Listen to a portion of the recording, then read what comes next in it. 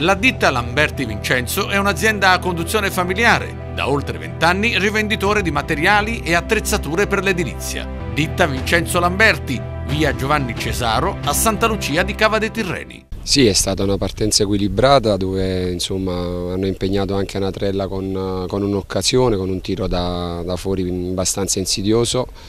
però ecco comunque è stato un buon approccio e sapevamo che era una partita che poi dovevamo, dovevamo affrontare nel modo giusto, l'abbiamo fatto, abbiamo trovato il primo gol e dopo il secondo ecco, con l'espulsione chiaramente è stato tutto molto più in discesa, abbiamo trovato spazi anche per, per, per chiuderla. Quindi tappa importante ma c'è da continuare su questa strada perché il campionato è ancora lungo. Ho chiesto alla squadra di,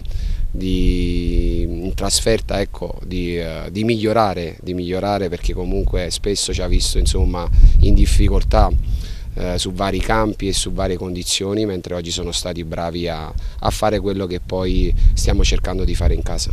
Ecco, eh, 4 gol alla Santa Maria, 4 gol alla San Cataldese, al Troina e qui a Biancavilla, tolta la partita col Giarre, la Cavese di questo periodo segna, diverte e vince. Sì, al di là del, del, divertirsi, io poi dico questo termine va sostituito con, con il piacere di, di, attaccare e di giocare, con questa mentalità,